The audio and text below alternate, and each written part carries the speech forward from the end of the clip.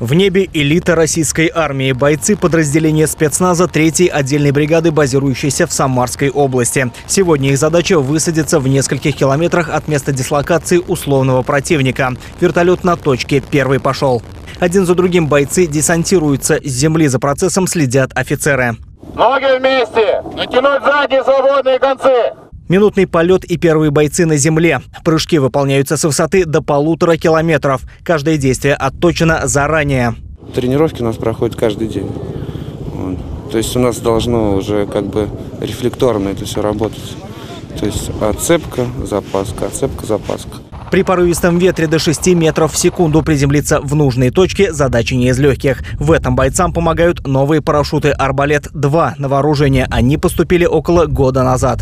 За год каждому необходимо совершить 12 прыжков. Впрочем, у многих это число уже перевалило за сотню.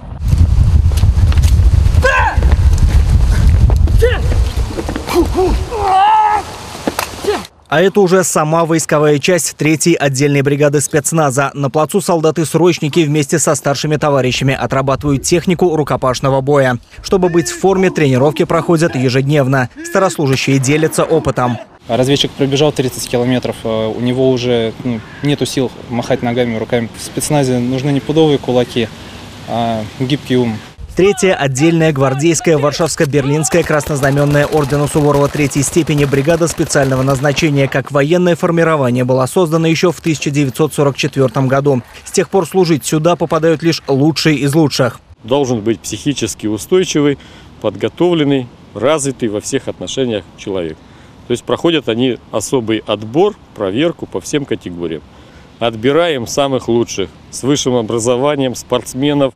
Звание лучших в Самарской области, а может быть и в России, бойцы ежегодно доказывают на международных соревнованиях «Золотая сова» в Казахстане. Из восьми стран-участниц самарские спецназовцы всегда в тройке лидеров.